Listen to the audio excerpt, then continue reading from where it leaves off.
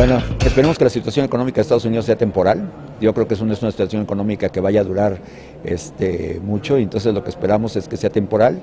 Este, estamos, obviamente el, el empresario está a la expectativa y pues esperemos que se resuelva pronto porque digo, no, no, no es algo que vaya, vaya para largo plazo. ¿no?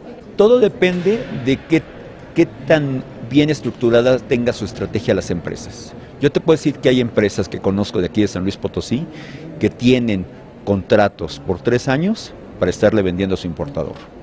Entonces digo, cuando tienes una empresa de ese tipo que ya tiene un producto prácticamente vendido por los próximos 13 años, tres años, pues eso te da una, una solidez para seguirlo mandando, ¿no?